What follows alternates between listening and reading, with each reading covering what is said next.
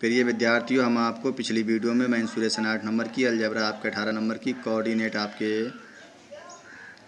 Coordinate आपके पाँच number coordinate आपके पाँच नंबर के त्रिकोण में दिया आपके बारह नंबर के, रियल नंबर आपके पाँच नंबर के, यूनिट बाई यूनिट हम आपको करा रहे हैं, समझा रहे हैं, आप वीडियो देखते रहें और समझते हैं। सबसे मेन क्वेश्चन का समझना होता है, जो हम उससे बार बार रिपीट कर रहे हैं और बार बार आपसे कह रहे हैं। देखिए क्वेश्चन क्या ज़रा ध्यान दें। देखिए क्वेश्चन क्या है, ज़रा क्वेश्चन पर ध्यान दें। आपका क्वेश्चन है सेक थीटा बराबर दो तो थीटा का मान ज्ञात करो, ज़रा ध्यान दें। सेक थीटा बराबर दो तो थीटा का मान ज्ञात करें। यहाँ पर हम आपको सोल्यूशन भी कराएँगे और आपको फार्मूला भी याद करा देंगे। तब आप कह सकते हैं एक तीर से दो निशाने या कह सकते हैं आम के आम, गुठलियों के दाम, बच्चों के तो फ़ायदे ही फ़ायदे हैं। देखिए आगे।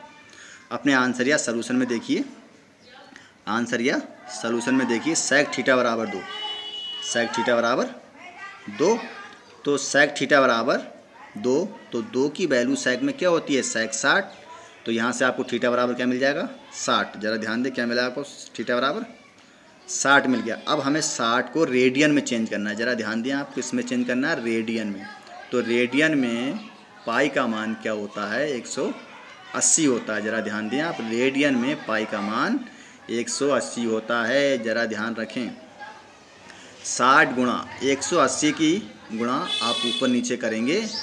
ऊपर 180 से और आप नीचे, या कह सकते हैं 180 को ऊपर नीचे गुणा करना, जो आपके सामने हमने लिख भी रखा है। अब आप देखिए 180 मतलब एक पाई वाले मान को हम नहीं काटेंगे, बाकी 60 और जो बटे में आपका 180 दे रखा है, इसको जब आप काटेंगे तो 60